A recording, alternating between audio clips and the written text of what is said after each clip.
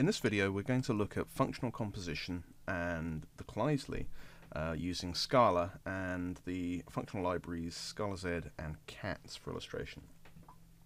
Um, to start off with I've got a, a simple process where we're going to retrieve a number from a database, um, perform some form of processing on the, the value and then uh, write a result back to the database. Um, we're going to do this using three higher order functions. Um, as you can see, we've got uh, get number from DB, which takes uh, unit and returns an integer. Uh, we have process number. Uh, obviously, in the real world, you probably would have uh, a little bit more than units, uh, some sort of SQL query or something to, to match on. process number, we're going to just take an int and return an int. And for writing the response back, we're going to take an int and return a boolean for that to indicate whether or not we were successful. Um, now, since these sort of form a part of a process, um, sort of separately, you would end up combining these. Uh, you could go ahead and just sort of execute these yourself in the code by running one, getting the result, passing it into the next, etc. Um, but what you can also do is you can compose these into a single function uh, that consists of, of the parts. Um, so if we just sort of create implementations for these,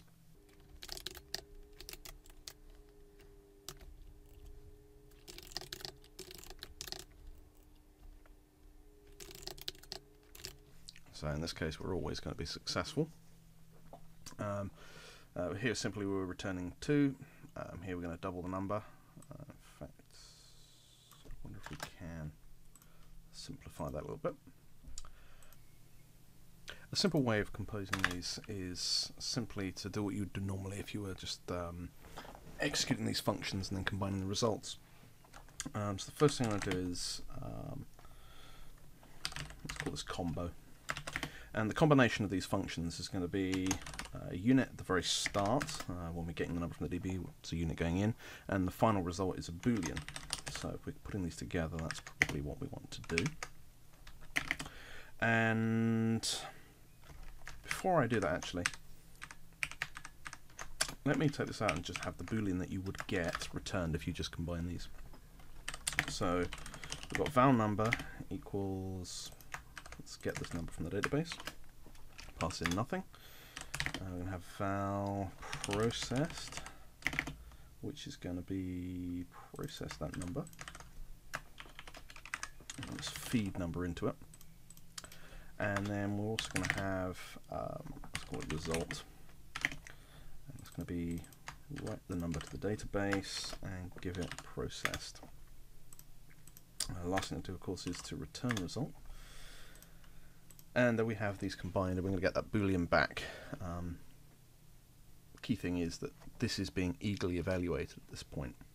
So if instead we want this to be the unit to boolean function that we can call as many times as we want, um, then in this case uh, we're going to delay it by saying this is a function call. So now this is a higher order function. Now we can inline these. So our combo now is our unit to boolean is this. Check this by having and we're going to actually call it. So if we don't apply the function, then we're literally we're going to get the, the function itself unapplied. Let's see what we get. Okay, so our result was true, uh, which we would expect since that was hard-coded there. Um, but as you can see that we called combo and that executed the sequence that we've now built. The problem with this is that it's a little bit hard to read, and there are better ways of doing this composition um, without requiring the nesting. Um, so the standard library actually has uh, some operators that allow us to combine functions, um, and it's really what we're doing here exactly the same. Let's say compose, get rid of those, get rid of the apply. Um, and again get rid of this unit too. So I think that's slightly better to read. Um, so we're basically saying uh, write number to DB compose, process number compose, get number from DB. Works exactly the same way as the compose dot operator from maths. Um, but we are reading from right to left. And I actually prefer a different operator uh, to compose. Um, let's call this combo 2 in the name of originality. Um, so what I'm going to do instead is I'm going to say, well, the first thing I'm going to do is I'm going to get my number.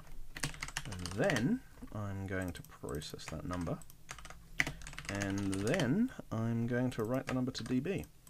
And these are exactly equivalent. And execute that. As you can see, exactly the same response comes out. The next thing to do is to look at uh, another problem that we can run into. Uh, so composing these functions is fine, but the key thing to remember is that you're basically taking a value and feeding it into the input of the next function that you're chaining. So here we have an int out, passing that into the input for the next one, we get an int out, we pass that into the input for the third one, and so on. So you do need to get a matching on these. Um, but a quite common issue is that you may actually be using something like a future, uh, Scalaz task, a Monix task, an IO monad, or something like that to wrap your output in some sort of context for either delayed processing or uh, to indicate that it has side effects, um, these sort of things. So um, if I change the signatures of these to say that okay, these these are I/O. There is some delay on them, so we don't want them to be necessarily blocking. We want to chain the stuff up.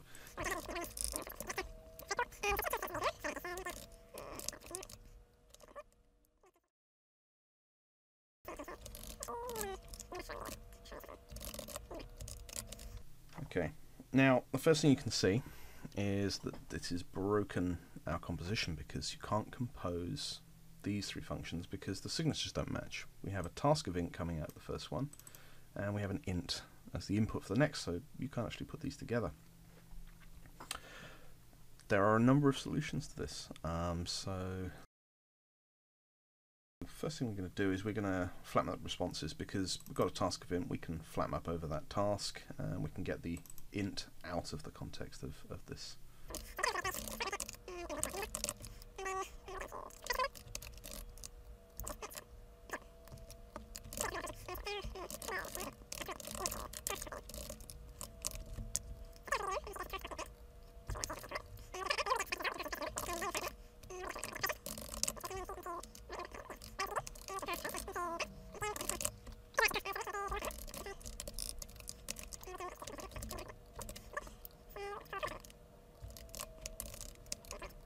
Uh, that will actually return us a task of boolean. So then if we're going to do um, unsafe perform sync on that, then we should get the result out um, once we call flatmap. That's fine. Boom. Okay, so we we retrieve the number, we process the number, we write the database, and the response we get back was true. Um, so that's very similar to the, the, first way that we did it, only of course with the additional step of having to to flat map. Um, you can of course prettify this a little bit. So we could go ahead and use a for comprehension, uh, which is basically syntactic sugar for what we've just got.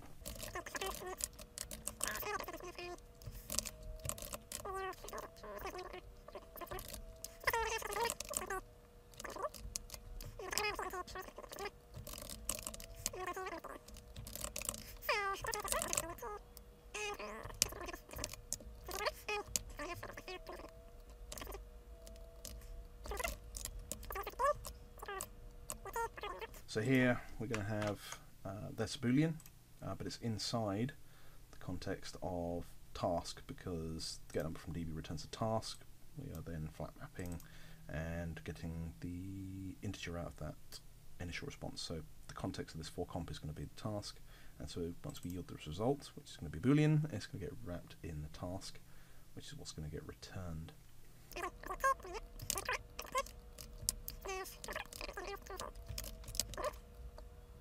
Okay, I'm just going to comment out the first one. So, first one runs, combo maker is true, uh, and one here, it's exactly the same thing, true, it's identical. Um, so you can see that using the for comp, exactly the same as using the flat map. However, there is a question mark better way, which finally we come to the point of the Kleisli. So a Kleisli is basically a uh, kind of like a monad transformer, but for functions. And what it does is, um, let's say you have a function with a signature of uh, int to task of string, then the will be a Kleisli of task int string. And this is kind of like an alias for this.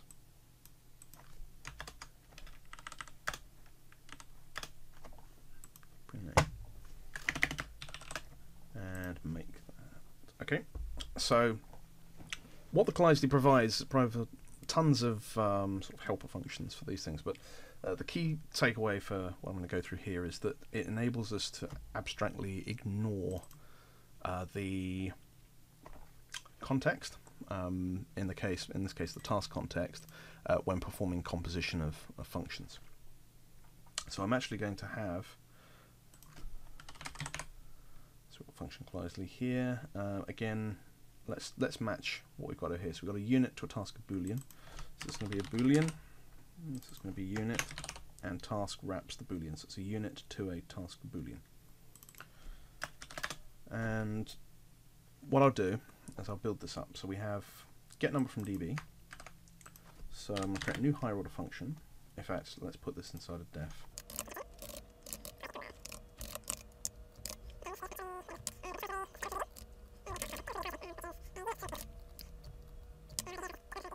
I'm going to call Kleisli apply and just pass it in. And what this Kleisli will do, it will lift this function into the context of this wrapper. Um, so now we have this Kleisli task unit int from this. Uh, in actual fact, you don't actually have to specifically call the apply here. You can apply it uh, as so. Uh, but the key thing is we should now have our get number from db Kleisli as a result. I'm going to do the next two, we've got process number, lift that into a Kleisli and write number to db. So we have get number from db Kleisli, process number Kleisli. I should have done that while I had it in the. Well, I do have it in the buffer actually. Um, why isn't it like this? Oh, because we've changed the signature. So now this is uh, an int to a task int, and this one is an int to a task boolean. And now, what we can do is we can go val uh, combine or combo Kleisli, which is going to be a Kleisli of uh, task unit to boolean. And we're going to combine these, so we're going to have get number from db Kleisli, and then we're going to have process number Kleisli, if I want to do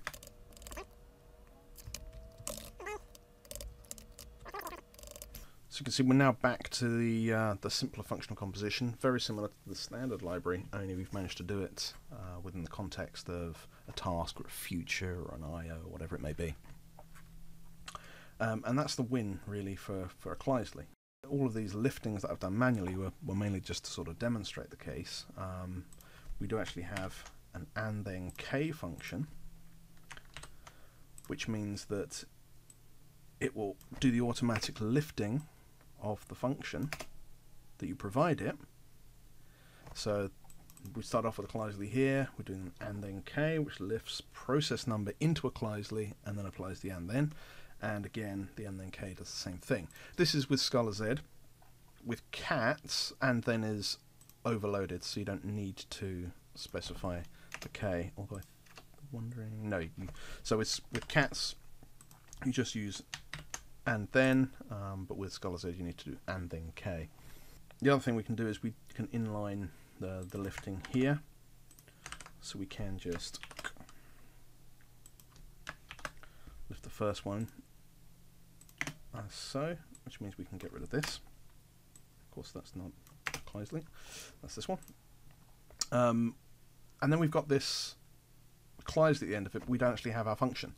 Um, so the way that we need to extract that function back out of the Kleisli is by calling run on the Kleisli. Um, so you could do the composition and then call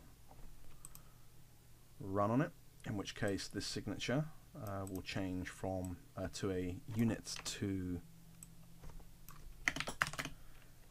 task of boolean again much cleaner, uh, less boilerplate, and enables you to use these sort of very simple and easy to understand. It's very easy when you're looking at this to read what exactly is going on. Um, so we're seeing that okay, we're composing these functions um, using the Kleislis. Um, we don't need to do the for comp. We don't need to do the flat mapping. Um, I do think that that is much cleaner.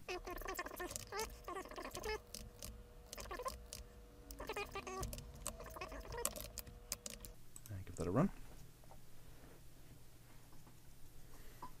And we can see we're getting exactly the same information out. This, all of the things I've shown here are exactly the same code. We're producing the end result is identical in all these cases.